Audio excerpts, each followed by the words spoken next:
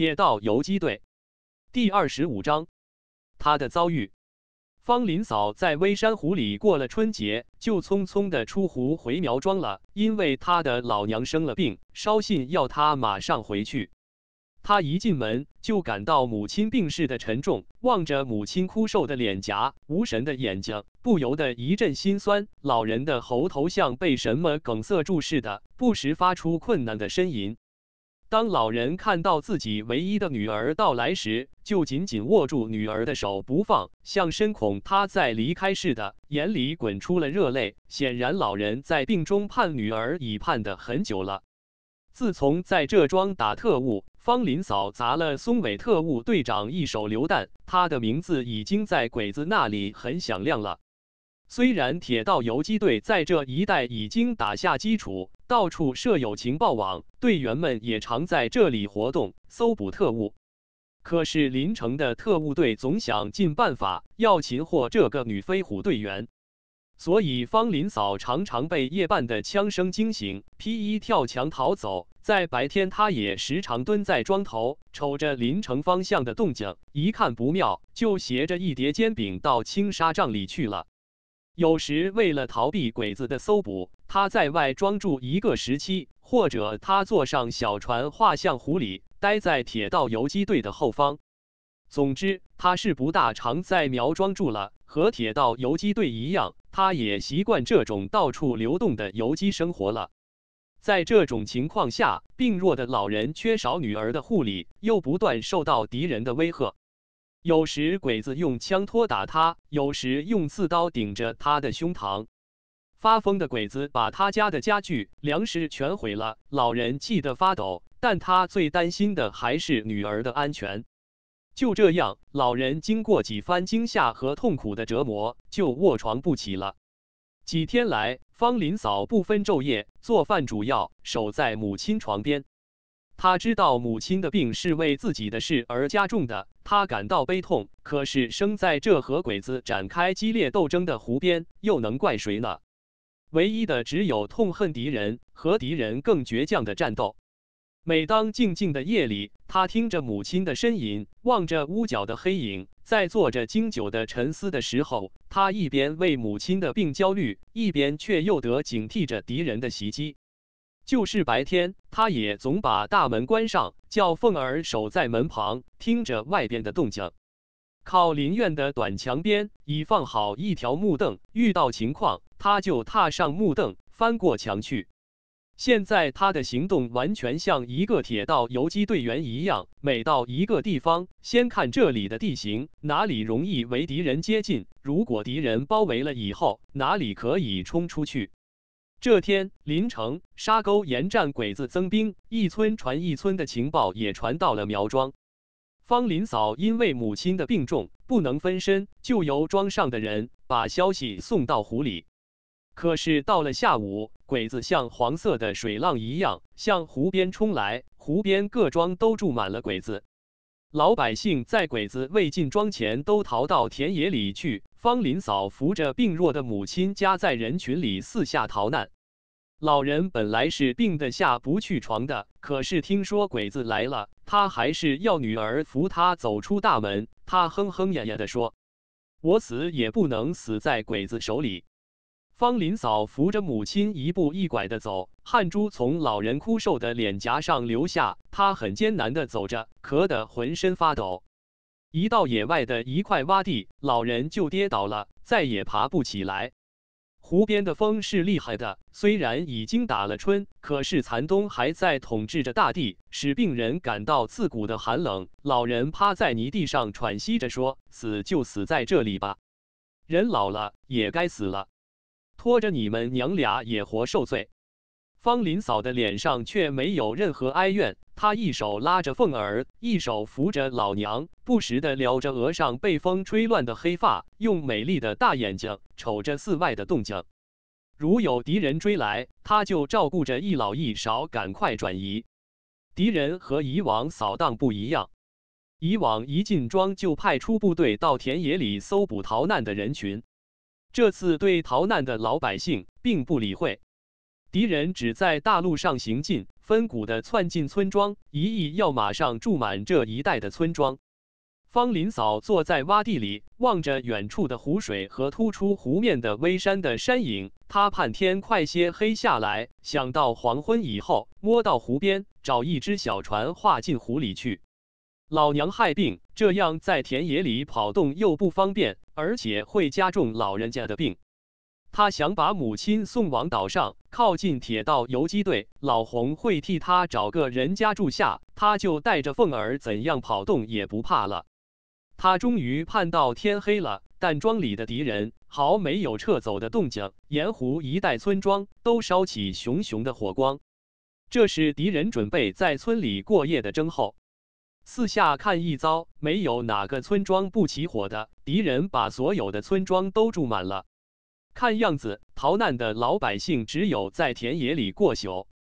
他正要扶着老娘，拉着凤儿往湖边走去，迎面来了从那边折回来的难民，说湖边都住满了鬼子，湖已被严密的封锁了，渔船都逃往湖里去了，没跑急的也被鬼子扣住了。湖面上有汽艇在巡逻，进湖已经是不可能了。方林嫂只得又坐回洼地里，把带出的一床被子铺一半在潮湿的地上，叫老娘躺下。把另一半盖在老娘身上，只有在这里过夜了。老娘在被底下哼着，呼吸已很困难了。在这田野里又不能给病人烧碗热水喝，眼巴巴的望着病重下去，凤儿又哭着叫饿。方林嫂把斜出的干煎饼撕了一块给凤儿，自己满怀愁闷的坐在那里。他望着四下的火光，再低头看看蜷伏在地上的老娘，不由得感到心酸。明天敌人就可能到田野里来捉人了。老娘病得这个要死的样子，怎么能跑得脱呢？就是不被枪子打死，东跑西奔，累也累死的。他又透过湖边的火光，遥望着夜色里的湖面，想到刚才逃难人的叙述，敌人一定要进攻微山了。因为湖边从来没有来过这么多鬼子，湖面上从来也没有汽艇出现过。想到这里，他又在担心着湖里的铁道游击队刘红他们了。那里可再待不得了呀！你们要连夜出湖啊？他在焦急地低语着，一半心放在重病的老娘身上，另一半心被山里的人撕去了。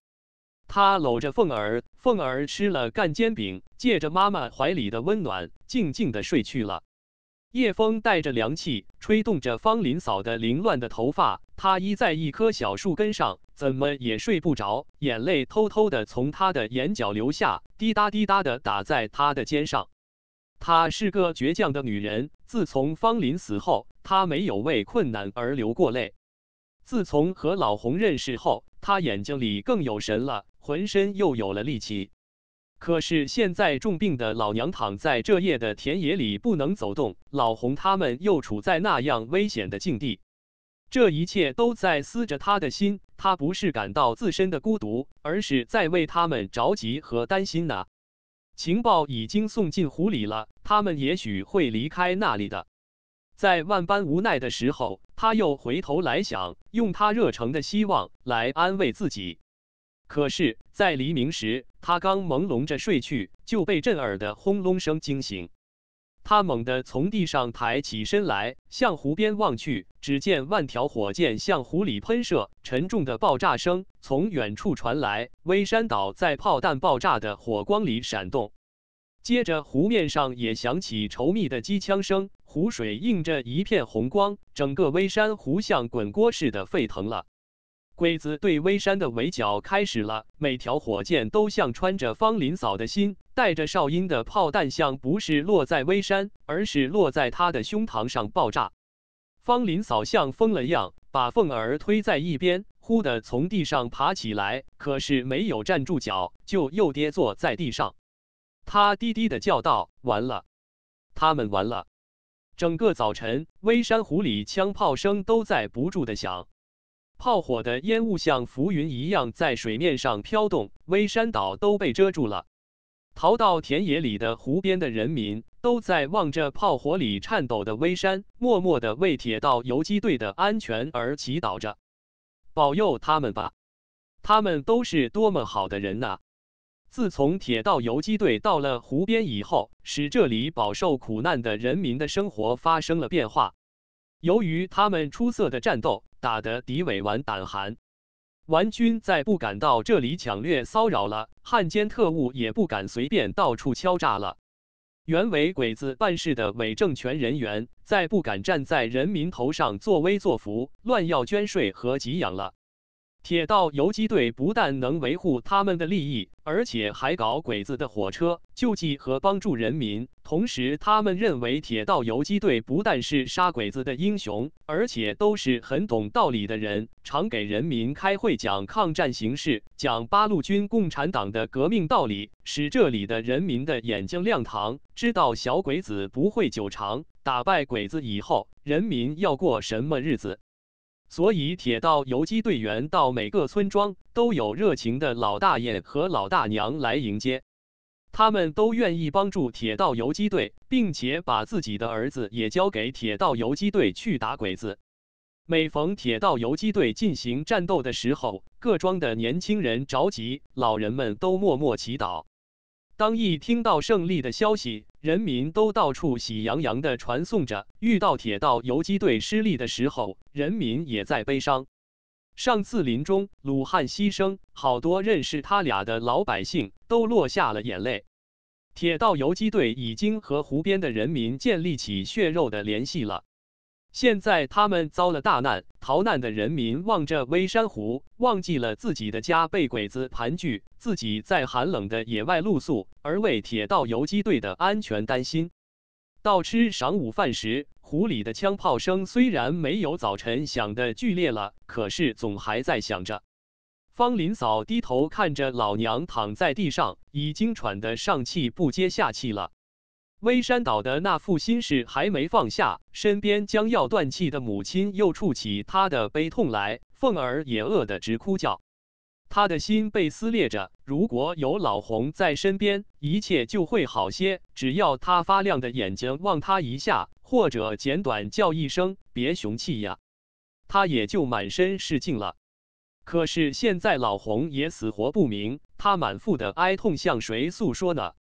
他只有趴在母亲身边哭泣，因为只有母亲还了解他的心。可是母亲已是半死不活了。同村一块逃难的老大娘们看到方林嫂这个苦样子，也都同情的陪着唉声叹气。一个年轻寡妇，一手拉着还不懂事的孤儿，一手扶着寸步难行的老娘，在这四下尽是鬼子的野外逃难，就够难的了。可是这老娘又突然病倒在地，不能动弹，背又背不动，舍又舍不得，这负担子叫谁能担得起呢？慢说是个女人，就是个男人，能有啥好法呢？老大娘们围上来给凤儿点吃食，使她止住哭，就来劝方林嫂：“凤儿娘，你心得放宽些呀，遇到了这种事，光哭也没用呀。”别哭坏了身子，还是顾着身子要紧。走时大家都帮着你。哎，你这个老妈妈也病的不是个时候，你要回去吗？也不该在这个时辰呀，可难坏了闺女了。回去是死了归天的意思。人们只从病人身上来安慰方林嫂，可是哪知道她望着湖里，还有另一条愁肠呢。过午以后，微山岛的居民有的从水里逃出来了。当他们和方林嫂这群逃难的人们汇合到一起时，才喘了一口气，因为他们冲过敌人对湖的重重封锁，到达这里总算安全些了。方林嫂一见他们，就失去了眼角的泪水，问：“那边铁道游击队怎么样了？”一个老大爷一边拧着衣服上的水，一边回答着方林嫂：“怎么样？可了不起呀！在微山东北角上，叫他们打死多少鬼子呀？满湖都是鬼子的尸体，鬼子始终没有从那里冲上来。可是鬼子从西南两边冲上去了，抄了他们的后路。怎么样了？”听的人都同声的问。不仅方林嫂自己，大家也都关心着铁道游击队的安全。怎么样？老大爷的眼睛闪着神秘的光辉，说：“那谁能知道呢？”光听人说，鬼子一抄后路，花了眼，到处找，找不到他们。说到这里，老大爷指着微山的方向，那里的炮还正响。他又说下去：“你听，还在打着呢，打了一夜，可是他们就找不到铁道游击队。光听说鬼子东一路打西一路，西一路打东一路，南来北打，北来南打，都认为对方是飞虎队。”这一来，鬼子死的可不少。他们现在到底在什么地方呢？还在微山上吗？方林嫂想问个仔细，心里才落实，就急切地问：“那谁知道他们在什么地方呢？”铁道游击队神出鬼没，连鬼子的指挥官都气得直打转。我叫鬼子乱枪打得头昏眼花，光顾逃命，哪能知道那么清楚呢？周围的人们听到湖里渔民老大爷的话，都在纷纷议论了。有的说：“我看不碍事，铁道游击队一定有神人指点，不然鬼子怎么会花了眼，会自己打自己呢？是神迷住了鬼子的晶晶，使他们分不出哪是自己人，哪是铁道游击队了。是呀，上次搞洋布，关老爷的马不是下山助阵了吗？有神保佑。”他们鸿福大不要紧，方林嫂并没有为这些议论而宽心，因为她对铁道游击队的了解比他们更清楚些。他知道老洪他们和鬼子战斗，多次打败鬼子，全靠他们的勇敢和智谋，并不是什么神的保佑。他听着远处的炮声，心还是沉甸甸的，像坠了一块石块。下午。湖里的枪炮声渐渐稀疏下来，可是铁道东又响起稠密的枪声。到傍晚，各处的枪声才静下来，只有湖里微山上烟火还在缭绕。鬼子的大队不断的从湖里撤出，这时进攻的部队又回到岸边了。他们押解了成群的老百姓和一些被俘的游击队，可是也运回来更多鬼子的死尸，一批批用汽车往临城拉去。这是他们围攻微山的代价。方林嫂在远处望着被押解的俘虏，想从那里边辨认出熟悉的面影，但从身形上看都不像。天已经渐渐黑下来，逃难的人群还得在田野过夜，因为各个村落又都燃烧起熊熊的火光，鬼子还住在村子里。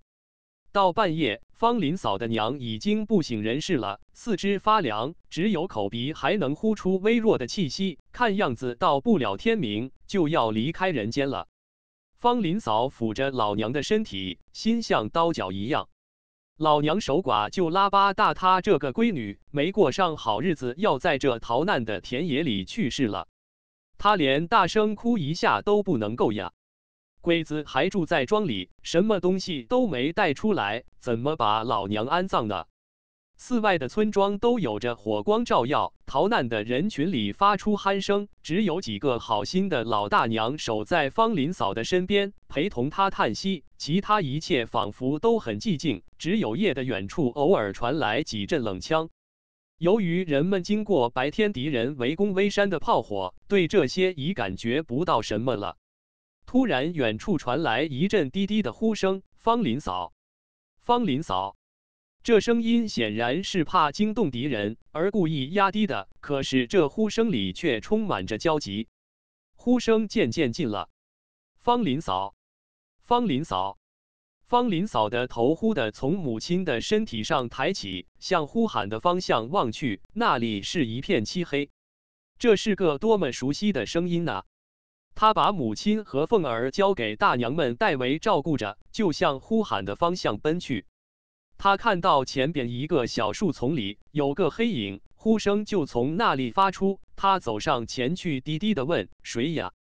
我到跟前一看，原来是本庄刘大娘的儿子小川。他好久就要求参加铁道游击队，是自己庄里的可靠关系。小川一把抓住方林嫂说。我们找你找了半晚上，快！方林嫂一听到我们两个字，就知道是指的谁了。她浑身突然生长出不可抗拒的力量，随着小川匆匆的向西边的一个坟的跑去。坟堆后边忽然出现了两个戴钢盔的鬼子身影，方林嫂吓了一跳，把小川拉他的手猛力一甩，正要折头回窜，对方说话了：“方林嫂，是我们。”方林嫂才听出这是小坡的声音，她心里的一块石头才算落下来了。她忙走过去，看看刘红也正站在那里。方林嫂的黑亮的眼睛和老红的视线一接触，不知怎地，她忽然感到一阵心酸，两行泪水哗哗的落下来。我们终于找到你了，刘红欣喜地说：“你们怎样了？没有什么，冲出来了。”你们咋穿这些衣服呀？怪吓人的。就是这鬼子衣服救了我们的，也正因为穿这样的衣服，我和小坡才能从敌人群里摸到这里来找你。说到这里，刘红关切地问：“凤儿呢？在他姥姥那边。”快去把他抱来，咱们一道走。我来的目的是接你到山里去的，政委也是这样希望。你到山里受训以后，就可以参加工作了。现在鬼子大军驻满铁道两侧，明天就可能开始搜索。你留在这里是危险的。你们进山吗？我们暂时先撤到北山根据地的边缘，等到这边情况好转后再插过来。敌人在这里的时间是不会长的。快去抱凤儿，赶快走吧！天亮前我们一定得赶到道东。方林嫂对老洪关切的督促，不由得引起内心一阵感激和喜悦。他们是脱离危险了，可是现在他又为着自己而冒险穿过敌群来援救他，带他到山里受训，这又是他多么愿意去的地方呀！他在和铁道游击队一起的时候，在掩护过路同志的谈话中，受到革命的教育，认识了革命。政委曾经和他谈过，准备送他到山里去受训，将来好参加革命工作。他也听队员们说，老洪所以那么坚强，就因为曾到山里受过教育的。现在真的要他到山里去受训了，这该使他多么高兴啊！可是，当他想到病危的老娘，这一阵的高兴又变为难言的哀痛了。母亲快要断气了，难道他忍心离开吗？他的满腹哀愁，现在可有人听他来诉说了，他就把母亲的病一五一十的说给老洪听。最后他说：“你说我能忍心离开他吗？”话还没讲完，方林嫂就去擦泪水了。老洪听了这个情况，虽然他一向处理问题很果断的，可是现在也陷入一种沉闷的情绪里边，拿不定主意了。但是他还是说：“你自己决定吧。不过事不宜迟，再晚就过不去铁路了。他们还在那里等着我。”方林嫂说：“他不病还好，要是眼看他老人家快死了，我还离开，这能对得起他吗？”他另外又没一个亲人，看这样你得留下了，不留下又有什么办法呢？可是你知道我又是多么愿意和你走吗？方林嫂又在擦眼泪了。好吧，就这样决定吧。老洪像害牙痛似的说了这一句，他是不愿意他留下的，可是竟遇到这个难题，一块把老人带走是困难的。他想到明天就要变坏的情况，不由得皱起了眉头，望着方林嫂：“怎么样？情况恶化后能坚持住吗？”这个你放心好了。老洪听了方林嫂坚毅的回答，他点了点头。这一点他是相信的，不过这也并没减低他的担心。他便掀起了衣服，掏出一支手枪，交给方林嫂：“把这个留着应付情况吧。”遇到敌人，他会帮你的忙的。好，方林嫂接过了手枪。老洪曾经教会他打枪，他拉了一下，顶上了膛。那么，再见吧。要咬紧牙关呐，绝不装熊就是。两人的手握在一起了。方林嫂抓住老洪的手，总不想放开。他知道这一离开，自己就又陷入孤独无依的境地。可是时间很紧迫，老洪毅然的把手抽出，说了一句：“等着呀，我们很快就会回来的。”他就和小坡、小川折身没在黑影里了。直到这时，方林嫂才感到别离的重量，才感到孤独的苦味。他全身像突然丧失了力气，扑通的跌坐在一座坟堆上，眼里又流下泪水。好一会，他才恢复神智，慢慢的爬起来，握着手枪，艰难的向老娘躺卧的洼地走去。天没亮，方林嫂的娘就死了。方林嫂爬在老娘尸体上哭泣。同村的逃难人在这洼地旁边帮着挖了个墓坑，乡邻们弄来了一个破席片，卷扒着把老人埋葬了。太阳已从东山爬起，照耀着这新垒起的坟堆。当方林嫂伏在坟前，鼻涕一把泪一把痛哭的时候，各庄的鬼子已经出发到田野追捕老百姓了。方林嫂拉着凤儿，随着人群东跑西奔，后边鬼子追着，跑到东东边，鬼子堵住去路，又折向南边。可是湖边的鬼子又迎面拦住了，他们就在向北跑。到处是鬼子汉奸在打着枪，到处是老百姓在奔跑着，人群里夹着哭叫声。汉奸特务在向逃难的人摇着白旗喊叫着：“不要跑，都回庄去。”皇军爱护老百姓，在野外的一律乱枪打死。到下午，老百姓都跑得精疲力竭了，有些地主富农都回庄了，有些人被鬼子赶着回去了。可是方林嫂一直跑到天黑都没有进庄，夜里还是宿在田野里。第二天，田野里又是鬼子追赶着人群，可是逃难的人越来越少了。因为鬼子毫没有撤走的意思，跑到何年何月呢？有的看到田庄的还没发生什么事，也就慢慢的回家了。现在野外逃难的只剩铁道游击队的家属和有关系的人了。方林嫂把凤儿交给一个亲戚家带到别庄去，自己就携着一卷干煎饼到处流动，蹲在坟堆旁，趴在洼地里躲着鬼子。他是下决心不和鬼子见面的。在万不得已碰上时，他只有掏出手枪，像铁道游击队员一样和鬼子战斗了。野外逃难的人很少了，这样可以缩小目标，便于隐蔽。可是也有个最大的危险，就是离开了人群，更容易暴露了。方林嫂趴在一个坟堆旁，看着发青的麦苗，低低地说：“你快长呀！”他盼着麦苗快长高，就可以像铁道游击队员一样出没在青纱帐里，敌人就不容易找到他了。因为铁道游击队的活动方式，他是很熟悉的。可是眼前的麦苗还只有脚脖深，只能埋住老鸭。他看着麦苗在发愁。夜里下了一场春雨，方林嫂淋的衣服都湿透了，爬在荒坟堆中。浑身沾满了污泥，几天没梳洗，蓬头乱发，在泥地上坐着。他在最困难的时候，想起老红发亮的眼睛，记着他临走时对他说的话：“咬紧牙关呀！”现在他是咬紧牙的，没有对眼前的困难低头，他只盼着铁道游击队早日回来，这一天总会到来的。可是雨夜的风是凉的，尤其湿透的衣服紧贴在身上，使他不住的颤抖。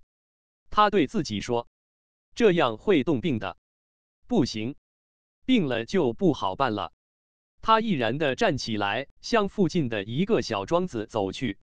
天又黑，路又滑，他一步一跌跤的走到村边。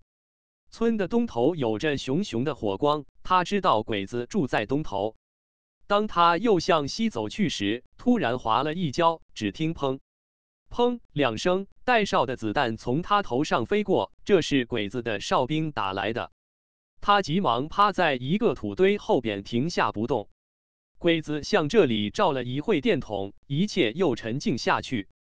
他不敢再站起来，就匍匐着从西头爬进庄去，跳过一堵短墙，跌落在一家老百姓的院子里。当他爬到锅屋里，这家主人进来一看是个逃难女人，好心的房东老大娘就把她收容了。他在这家熟睡了一夜，可是，在天亮前，他就又偷偷的溜出庄到野外去了。因为白天鬼子查户口，他留庄里是危险的。就这样，他只有在万不得已的时候才偷偷进庄过夜。一天，他在野外游荡，意外的碰到冯老头，这老人也瘦多了。显然这些日子逃难受了折磨。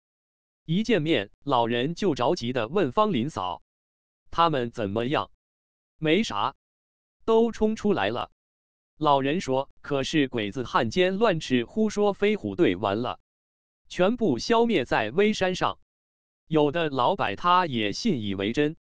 说到这里，老人从怀石掏出一张鬼子办的报纸，他知道方林嫂不认字，就指着报上的字说。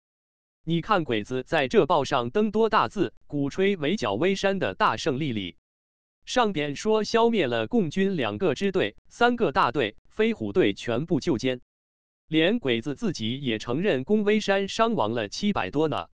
鬼子这次损失可不小。方林嫂把他们化妆突围的情况和见到老洪的事情跟冯老头谈了一遍，喜得冯老头合不住嘴。他这几天的奔波疲劳和苦闷被赶得烟消云散了。老人兴奋地抖动着雪白的胡子，对方林嫂说：“好啊，只要他们没受损失，那咱这一代就没大问题了。谢天谢地。”说到这里，老人的脸又沉下来说。眼下各庄的地主坏蛋都又在翻白眼了，他们以为铁道游击队没有了，又是鬼子的天下了。松伟又在召他们开会，伪政权又要成立，我看搜捕咱们这号人的时候又要到来了。你跑出来是对的，可要警惕点呢。我最近就想到山里去看看他们，要他们快快出来。你几时走？方林嫂听到冯老头要进山，很高兴的问：“你把我带去吧。临走，老洪还要我去受训的。现在母亲也死了，凤儿寄放在亲戚家，我可以脱身了。行啊，不过我得先打听下铁道边的情况，咱们约个地点吧。”他俩约定后天傍晚还在这里见面，连夜过铁路进山。说完就分手了。当晚，方林嫂就偷偷去看凤儿，到亲戚家还是跳墙进去的。姨母在灯影里几乎认不出她了，因为她多日在野外奔波逃难，挨冻受饿，弄得蓬头乱发，有些消瘦了。连她自己照着镜子也感到吃惊，只有那对显得特别大的水漉漉的眼睛还像她原来的样子。他把凤儿偎在怀里，用干涩的嘴唇亲着孩子的脸。自从老娘死后，只有这孩子挂着他的心了。现在他将要离开孩子，到山里去受训，参加革命工作。再见面还不知什么时候。进山是他乐意的事，可是要离开孩子，不禁勾起他的一阵心酸。凤儿也像懂得妈妈的苦楚似的，沉闷地盯着妈妈。方林嫂没有告诉凤儿她要远走，只叮咛说：“妈妈不能在家守着你呀，要是鬼子汉奸来了，就会把你妈妈逮走了。我在外边躲躲，等鬼子走了，妈妈再来领你。你在这里要好好听姨姥姥的话呀。”凤儿懂事的点点头，方林嫂更紧的把孩子搂在怀里。在这里，方林嫂总算吃了一顿热饭。想到就要走了，她静静地对着镜子梳了一下头，洗洗脸，把泥污的衣服整理了一下。在约定的时刻，方林嫂到了前天她和冯老头谈话的地点，她依着一棵树在盼着老人的到来。他四下望着近在暮色里的村庄，都又燃起熊熊的火光。远近处常传来捕人的枪声，心里想着自己马上就要离开这到处追捕他的环境。到山里去学习，很快就要见到刘红了。他心里感到无比喜悦。天已经完全黑下来了，还不见冯老头到来。他站得腿有点酸了，就靠着树坐下来。可是他的眼睛还是在向四下瞅着。夜已静下来了，四处每一个黑影和动静都能引起他最大的注意。可是冯老头还没有来。老头把这事忘了吗？不会呀，在这种情况下约定一道到山里去的事，总不会忘记的。出了什么岔子吗？也不会呀。老头和铁道游击队相处很久了，是很机警的。可是他怎么还不来呢？方林嫂坐在湿地上，两手搓着脚边的麦棵，在寻思着：麦苗经过一场春雨，又长得高些了。长得高的地方，爬进去就可以埋住人了。不过现在方林嫂已经不从这方面想事了，唯一系在她心头的事是赶快离开这里，到山里去。冯老头迟迟不来，使他有些焦急了。他抓一把麦叶在撕着，麦叶都被撕断了。他实在等得不耐烦了。三星已经正南，方林嫂整整等了半夜，再晚些就过不了铁路了。他心急得像火烧似的。为了能够早一些见到冯老头，他站起来，向着远处冯老头住的小庄迎上去了。他想着，也许在路上会迎着他的。他是多么急切的想见到他呀！他一边走着，一边四下瞅着，生怕冯老头从两边过去碰不上头。可是，一路上他的眼睛在夜色里都瞅痛了，还是没看到冯老头。已经快到庄边了，庄里的火在熊熊的烧着，敌人一定盘踞在庄里。他趴在庄边的一块麦苗里，向庄里望着。村里除了火光和庄东头敌人的哨兵，什么动静都没有。再不能等了。他下决心要爬到庄里去，去找冯老头。他的家他是知道的，是在东头，可是那里有哨兵，不好接近。他只有到庄西边的住家去打听一下，通过老乡去喊冯老头，比冒冒失失到他家更妥当些。拿定了主意，他就偷偷避着火光，在黑影里向庄里爬去。现在他已经很会扒墙头了。为了要见冯老头，他摸到一家短墙根，就很熟悉的翻到院里了。他悄悄的摸到住屋的门边，轻轻推着门，门里边有个老大娘，低低的问：“谁呀？”“我，好大娘，开开门吧。”听到是个女人的声音，老大娘很快就把屋门拉开，一见方林嫂就问：“你干啥呀？深更半夜的，逃难的呀？”我想在这躲一会就走。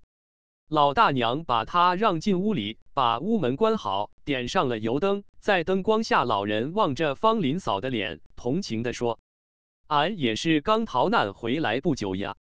你是哪庄的？东庄的。”方林嫂随口说了个庄名，因为她在苗庄很红，怕别人知道她是方林嫂，所以她没敢说出自己的庄名。接着，他对老大娘说：“俺家住了鬼子，青年妇女谁还敢在家住呀？就跑出来。你和这庄有亲戚吗？有，我和冯老头、文山大爷是亲戚。一进庄，我看他住的那边有鬼子的岗，就没敢过去。”说到这里，方林嫂就转到本题上了，就问：“冯大爷在家吗？”别提了。老大娘叹了一口长气，说：“他被逮去了。”啊！方林嫂像被泼了一头冷水，她不相信自己的耳朵，又紧跟着问：“怎么被逮去了？”老人重说了一遍，眼睛也有点红了。昨天夜里的事，从鬼子来这些天，他都没沾家呀，就这天偷偷回了趟家，就遭了事。听说他到临城那边去了一遭，要想到山里去，才回家收拾一下。可是特务早跟上他了，在他没来家前，鬼子就到他家逮他好几次了。鬼子没捕着，就没有再上他的门。谁知鬼子暗地在他门边设了岗，不论白天或夜里，都守着他的门。一见他进门，就包围了院子。老人望了一下方林嫂，这时他已把脸埋在手掌里，泪水从手指缝里流出。老大娘又长叹了一声，说下去：“是个多好的老头呀！他临被鬼子压着带走的时候，鬼子用枪托打他，说他是老八路。可是老人并没有含糊，鬼子一边打他，一边叫骂：‘你们能把我这个老头逮住，可是你们可逮不住铁道游击队。’”奶奶，我人老了，死了没啥，可是铁道游击队会来对付你们。哎，提起他被逮去，庄里没有人不流泪的。当老大娘谈过不久，方林嫂就又溜出庄去了。她像失了魂魄似的，在夜的田野里晃荡着身子走着，她浑身上下都没有了力气，但是她还是挣扎着走着。冯老头的被捕，对他是个多么沉重的打击呀！完全打碎了他刚才一切的想法。进山受训是不可能了，因为没有冯老头引路，他不知道往山里去的路线的。他无力地向前走着，最后跌坐在一块坟地里。现在他只有想尽办法逃避敌人对他的追捕，继续在田野里流浪了。各庄已折掉的炮楼，在鬼子的监督下又都修起来了。铁道游击队的家属和有关系的人都被逮捕了。过去和铁道游击队有关系的保长，或被捕，或被撤换。流氓坏蛋当起伪保长，伪政权又成立了。松伟召集这些伪保长开会，为防止八路卷土重来，要各庄组织反共自卫团。并出动宣抚班到各村宣传。他们指着照片上的一片尸体说：“飞虎队全部被消灭了，妄图欺骗老百姓，相信这湖边再没有什么飞虎队了。”事实上，知道铁道游击队化妆突围出来的只有小川、方林嫂和冯老头了。可是小川当晚就跟着老洪进山，冯老头又遭到逮捕。现在知道的只有方林嫂他自己了。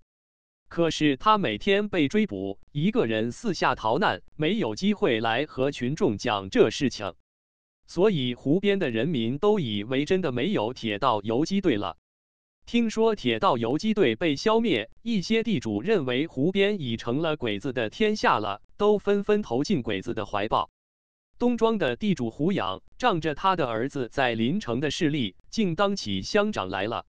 松伟又特别为他组织起乡自卫队，又配备了枪支，统辖各庄的反共自卫团。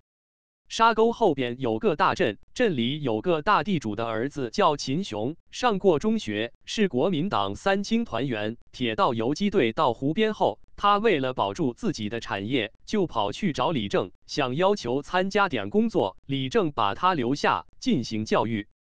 可是他胆小，经过几次战斗吓破胆，后来就又跑回家不干了。现在他又被松伟拉出来，成立队伍，委为湖边剿共司令。松伟的意图是想借这秦家大地主的势力来统治湖边一带村庄，因为鬼子围剿微山后，暂时屯兵湖边，伪化这个地区，以后准备撤兵南下，调往南阳作战。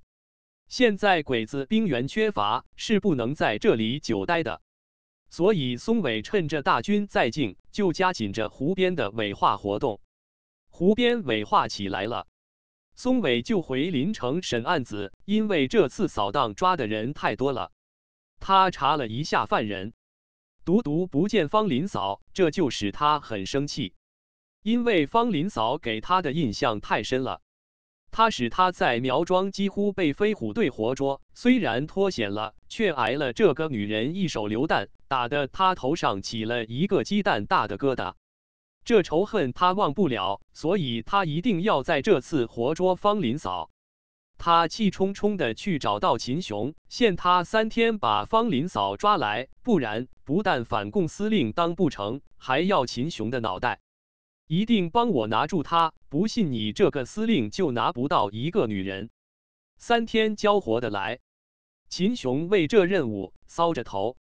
他在铁道游击队时是认识方林嫂的，也知道她和刘红的关系。在刘红教育下，她是个了不起的女人。她会使枪，又熟悉铁道游击队的一套活动方式。这些天，秦雄曾带着队伍配合鬼子清剿各村，也注意到拿他，可是却捉不到。现在松尾县期要方林嫂，他就召各乡长开会，也下了死命令，尤其指着胡杨说：“他在你乡，两天交来，交不到，小心你的脑袋。”胡养带着他的反共自卫队和各乡的反共自卫队，加上鬼子配合着，不分昼夜的在湖边清乡了一夜，包围好几个庄子，挨家搜查，可是总不见方林嫂。又分数股在田野的麦苗里拉网似的清剿，还是没有。在一天夜里，反共自卫团正在田野里清剿，有个伪军看到一个黑影从身边闪过，他追上去，突然砰砰两枪，他的左臂中弹。别处听到这里的枪声，大队鬼子汉奸包抄过来，找了一夜，还是不见踪影。三天没有捉到，秦雄请求松伟再宽三天，一定可以捉到，因为在清剿中有人看到过他了。松伟听说有了踪影，就答应下来。方林嫂在这几天清剿里边没有合一下眼，随时都在紧张的奔波着。白天还可以望远看看鬼子来了，就在麦丛里爬到别处；可是夜间就只有靠两只耳朵听四下的动静了。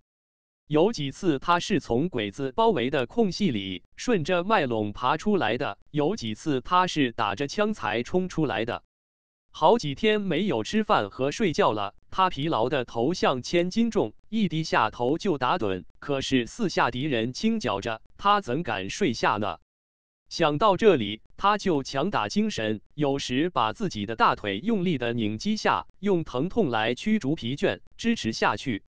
这夜已经是第六夜了。当他从另一块麦田爬到这块麦田，在一个小土堆边一爬，头就再也抬不起来，浑身软的没一丝力气，身子一着地就呼呼的睡去了。他突然被一阵杂乱的声音惊醒，一睁眼，四下都是人，有几个已向他扑来。他一抬身，正要举枪，可是已经晚了，几个伪军把他抱住，他再也动弹不得。胡杨用电筒照着方林嫂的脸，哈哈笑着说：“可把你找到了。”方林嫂大骂道：“胡杨，你这狗汉奸！”胡杨想到这几天为捉不到方林嫂，自己所受的气，一见方林嫂就想去痛揍她一顿才痛快。可是现在他望着这女人，不由得心里有点胆怯。也许是过去铁道游击队那种英勇威武的气概所留给他的印象吧。因为过去他看到刘红那对发亮的眼睛，心里就打寒战，所以现在他看到刘红的爱人也有些害怕。他不但没敢揍方林嫂，相反的却陪着笑脸。你不要生气。这是松伟要你，我们也没办法。秦司令为这事也为难不小。你和秦司令是老熟人，他还有话给你说呢。哼，难道我还怕见他吗？方林嫂就被押着走了。